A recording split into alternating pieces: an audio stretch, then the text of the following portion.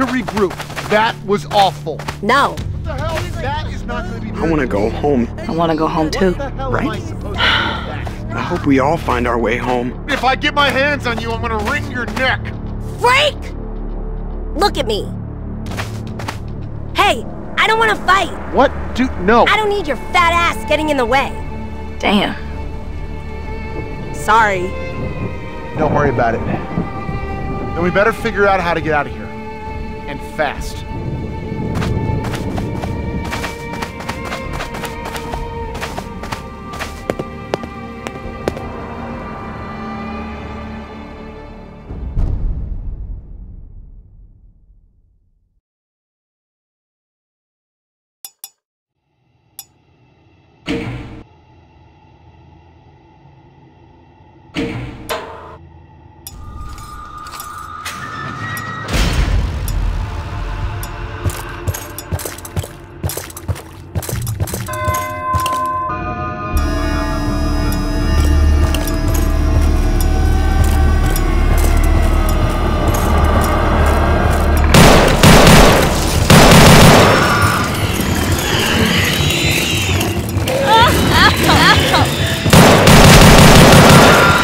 That thing like totally me. like you get for trying to bite me.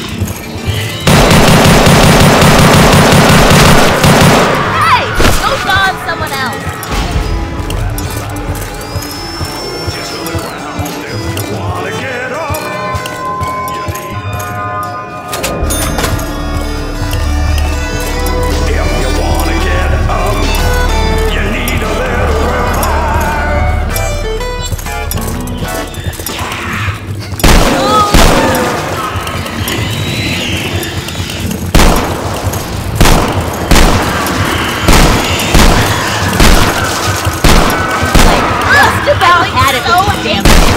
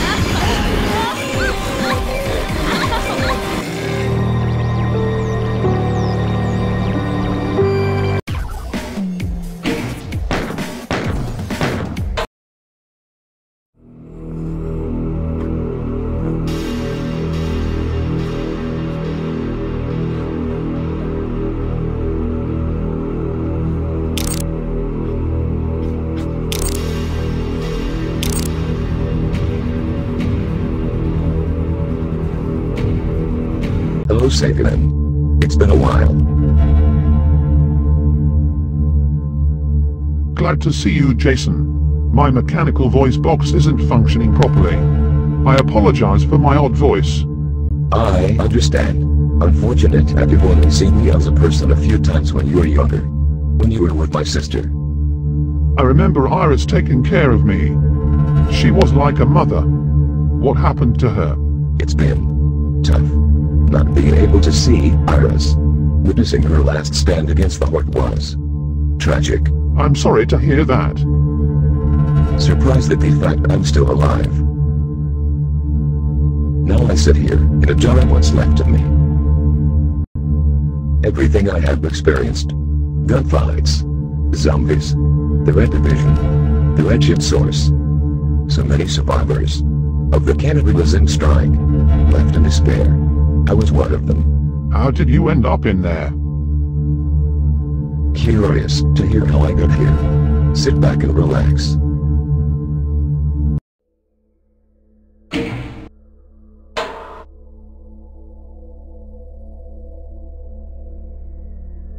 My journey to what led me here today.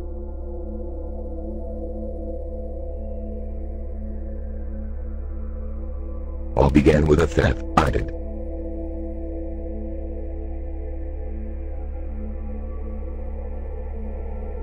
A necklace that changed my life.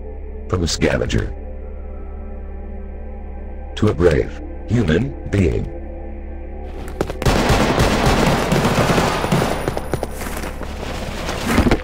This is my story of how I survived the source.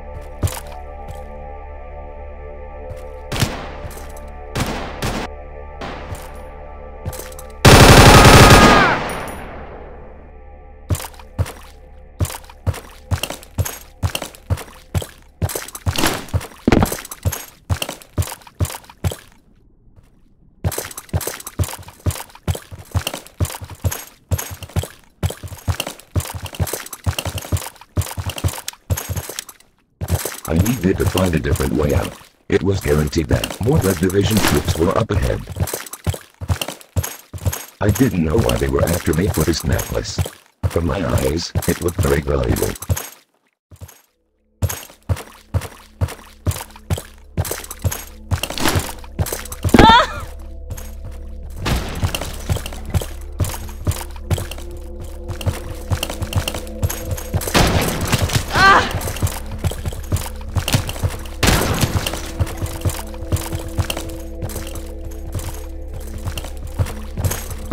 Oh!